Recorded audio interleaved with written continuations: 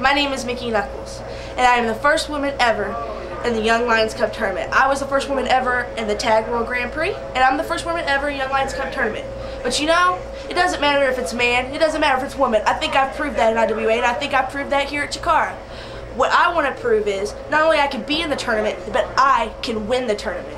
I didn't come all the way from Louisville, Kentucky just to be in the tournament. So I'm going to win Young Lions Cup tournament.